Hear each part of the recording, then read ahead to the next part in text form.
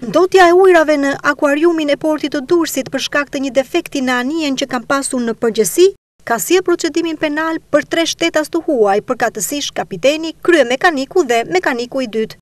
Mësohet se sipërfaqja ujore e ndotur është pastruar më pas nga shërbimet e agjencisë përgjegjëse. Menjëherë pas njoftimit të marrë për ndotje të ujërave në kalatën me numër shtatë të portit të Durrësit, specialistët e Policisë Kufitare në bashkëpunim me ata të Kapitenerisë së Portit dhe Inspektoriatin e Mjedisit kryen verifikimet për të nxjerrë përpara përgjegjësisë penale shtetasit përgjegjës. Në rastin e referuar materialet në Prokurori nisi procedimi në gjendje të lirë për shtetasit me inicialet PL, dyzet e tetë vjeç, banues në Rusi. AS, tridhjetë e pesë vjeç banues në Rumani, dhe VF, gjashtëdhjetë e tre vjeç banues në Rusi. Të tre këta shtetas akuzohen për veprat penale Ndotja e ajrit e ujërave dhe e tokës.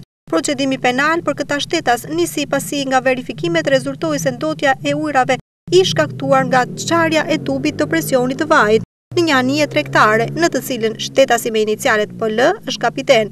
ndërsa shtetasi tjetër mekanik dhe shtetasi tjetër mekanik i dytë. Materialet i kaluan Gjykatës pranë Juridiksionit të Parë të Përgjithshëm Durrës për veprime të mëtejshme.